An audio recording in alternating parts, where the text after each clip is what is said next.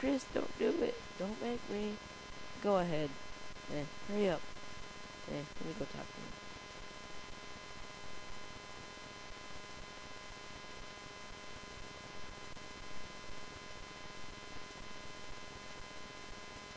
to him.